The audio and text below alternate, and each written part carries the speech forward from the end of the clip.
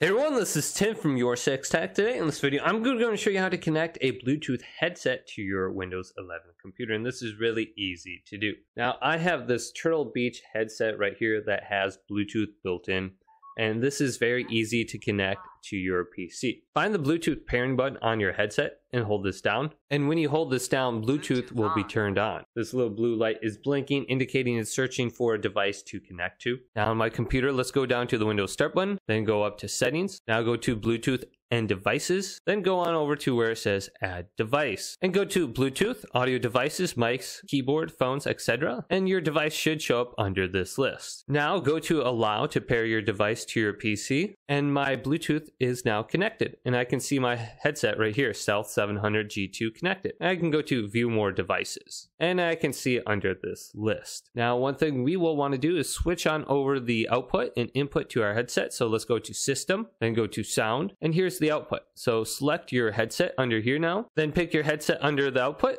and then you can also do the same thing for the input if that's available. So hopefully this video did indeed help you out. If it did, leave a big thumbs up and subscribe to my channel down below for more tech videos coming up next on Your Six Tech.